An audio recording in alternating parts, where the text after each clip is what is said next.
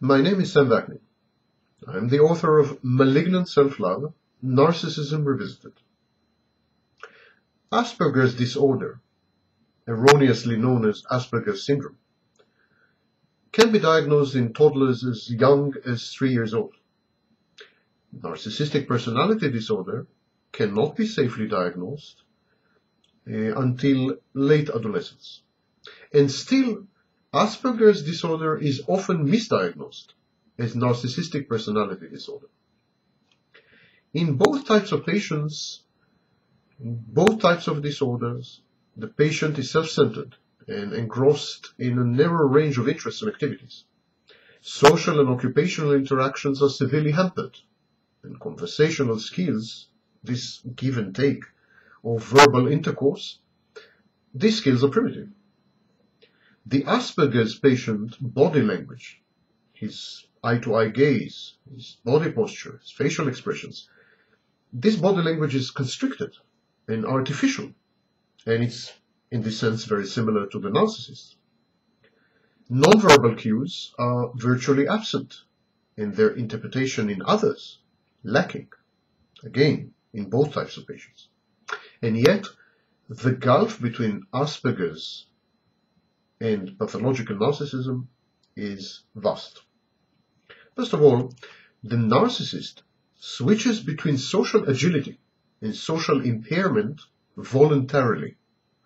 His social dysfunctioning is the outcome of conscious haughtiness and arrogance. It's the result of his reluctance to invest what he regards as scarce mental energy in cultivating relationships with, in, with people he deems to be inferior and unworthy. When but when confronted with potential sources of narcissistic supply, the narcissist suddenly transforms. He easily regains his social skills. He suddenly becomes charming um, and possessed of social graces and gregarious. So in the narcissist, social awkwardness is a choice. In the Asperger's, it's an inevitability. It's a feature. Consequently, many narcissists reach the highest rungs of their community, church, firm, or voluntary organization. They, they become pillars of the community. Most of the time, they function flawlessly. And this is not true of the Asperger's patient. The Asperger's patient often wants to be accepted socially. He wants to have friends, to get married, to, to be sexually active, to sire offspring, have children he, he just doesn't have a clue how to go about it. The Asperger's affect, his ability to express emotions, is limited. His initiatives, for instance, uh, to share his experiences with his nearest and dearest, or to engage in foreplay with an attractive counterparty, his initiatives are thwarted. His ability to divulge his emotions, this ability is tilted. He is incapable of reciprocating and he is largely unaware of the wishes, needs, and feelings of his interlocutors or counterparties. Inevitably, Asperger's patients are perceived by others to be cold, eccentric, insensitive, indifferent, repulsive, exploitative, or emotionally absent. And to avoid the pain of rejection, Asperger's patients confine themselves to solitary activities, they are like schizoids. But unlike the schizoid, they don't do so by choice. They limit their world to a single topic, hobby, or person, and they dive in with the greatest all-consuming intensity, excluding all other matters and everyone else. It is a form of hurt control, pain regulation. Asperger's patients are subject to so much ridicule so much mockery and so much censure, social censure, that they simply withdraw.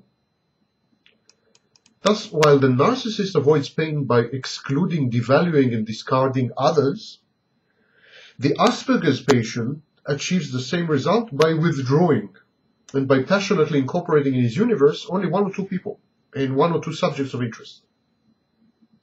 Both narcissists and Asperger's patients are prone to react with depression to perceived slights and injuries, but Asperger's patients are far more at risk of self-harm, mutilation, or suicide. Narcissists rarely engage in such behaviors. The use of language is another differentiating factor between Asperger's patients and narcissists. The narcissist is a skilled communicator. He uses language as an instrument to obtain narcissistic supply, or against his enemies or perceived enemies as a weapon, to obliterate them, to discard sources. Cerebral narcissists derive narcissistic supply from the consummate use they make of their innate verbosity. Not so the Asperger's. The Asperger's patient is equally verbose at times and taciturn on other occasions, but his topics are few and thus tediously repetitive.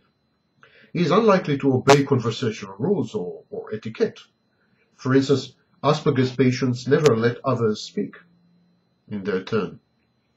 Nor is the Asperger's patient able to decipher nonverbal cues and gestures, or to monitor his own misbehavior on such occasions. Narcissists are similarly inconsiderate, but only towards those who cannot possibly serve as sources of narcissistic supply. When they come across people whom they believe can supply them with attention, adulation, and admiration, narcissists are attentive, they are considerate, they are empathic, they fake emotions wonderfully.